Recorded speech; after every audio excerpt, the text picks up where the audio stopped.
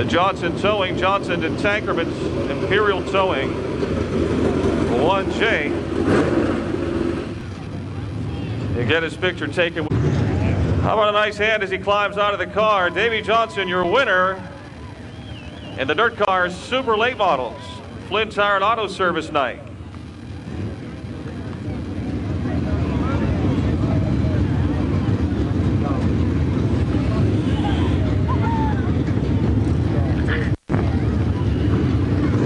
Billy Marshberger's crew chief and him talking things over in the front of the car.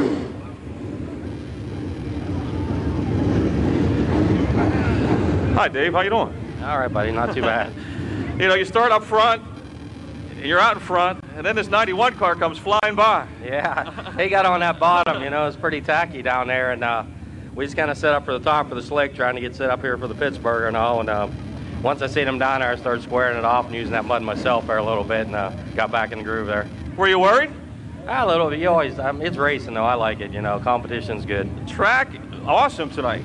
Yeah, you could run anywhere. Brian, these guys did a nice job here. Uh, the top, you know, had that cushion up here, you get a hold of one and two, and uh, the middle of the track, the thing was just racy all over. Three times you've run this car, two first and a second. Not too bad, though.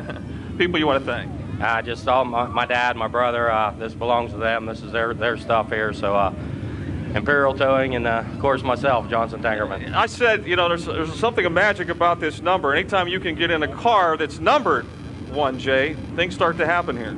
I've been trying to tell these people that for years, and they still want their own number. So uh, we'll just do it on our own then. All right, how about a nice hand, folks? Davey Johnson, your winner in the Dirt Car Super Late.